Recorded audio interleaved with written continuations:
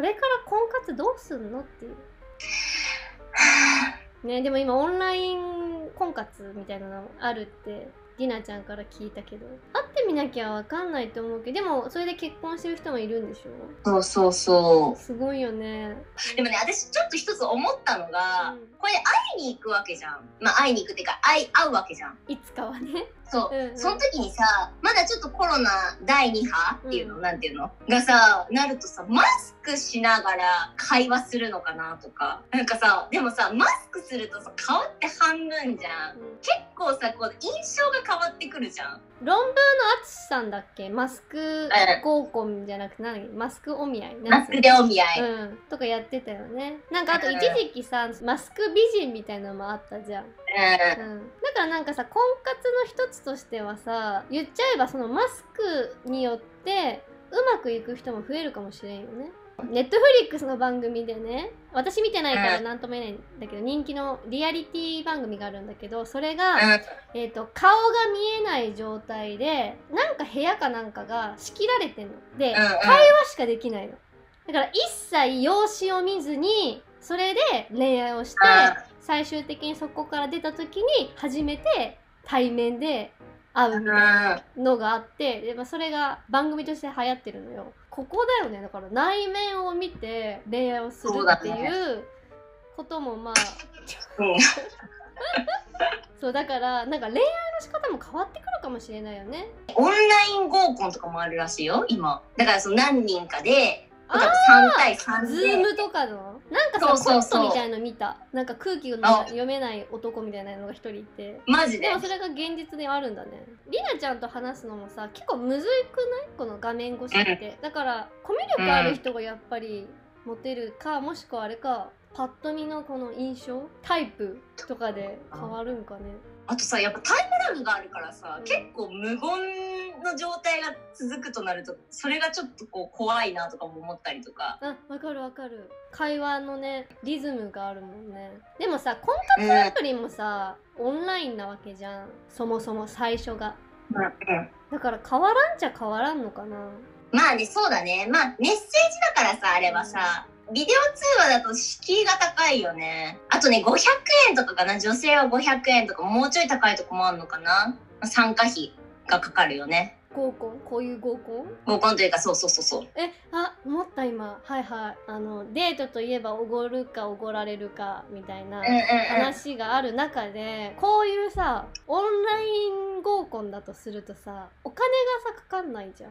それもさ気になるポイントになってくるのかな？確かに。普通の婚活パーティーじゃねえや。そういうい合コンだとしたら結構そこでさおごってもらえたとかさもらえなかったって結構その判断基準の一つに一個あったとするじゃない？これがこのオンラインになった瞬間に分からんくない？この人はね。そういうところで出してくれるのかえなんだろう？でも一応その婚活アプリって、なんだろういろんなアプリがあるからちょっと項目はそれぞれなんだけどおごるかおごらないかみたいな項目があるのよ一応。そっか。まあでもその項目を入れてない人もいるからそこはわからないんだけどそうね。ちょっとそこは難しいよね。だからオンライン合コンと普通にあった合コンって多分また違うよね見方が。あとさズームのその背景バーチャル背景にしてる人とさ、してない人によってさこの家？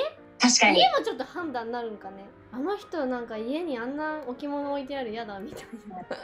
汚いなみたいな思われても嫌だしね。うん。でもさなんかあれよね。孤独じゃん一人暮らし。全然人にも会わないし。婚活女子はさ結婚したいって思う人増えてるんじゃない？あとやっぱコロナで離婚されたり別れたりする人もいるわけだからまたさらにこう恋人が欲しいってだから今が逆に動き時なのかもしれない。なんか恋愛市場って言われてるよね今。これは結構前に言われてた話だけどこの状況の中で会おうという男性は良くないみたいな、まあ女性もそうだけどやっぱりこの状況の中で会いたいはダメだみたいな。これむずくない？がいや私さがこれちょっとオフレコなんだけどさ、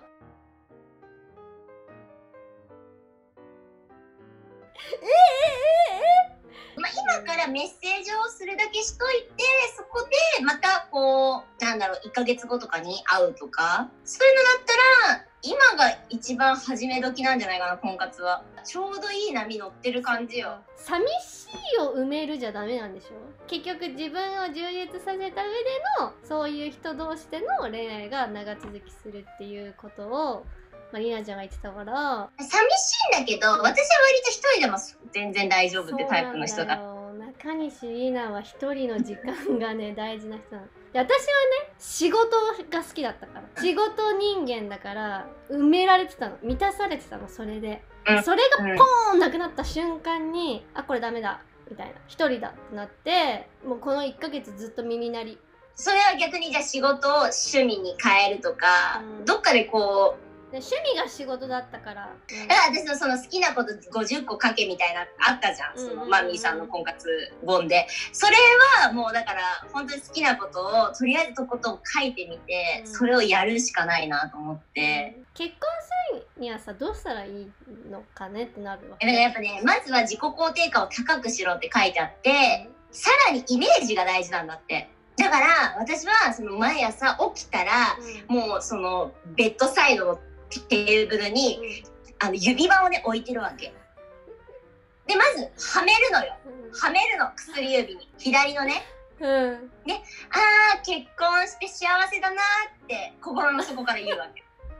ごめん笑ってごめん。大事なの。大事なの。次にそのテレビの上にねちょうど今ここの上に、なんかこう結婚誰誰か知らない人のね結婚式の写真を印刷して結婚してお母さんやお父さんや友達がみんな幸せな気持ちになって泣いてくれてるっていうイメージをもう見るわけ。え誰か知らない人の結婚してる写真があんの？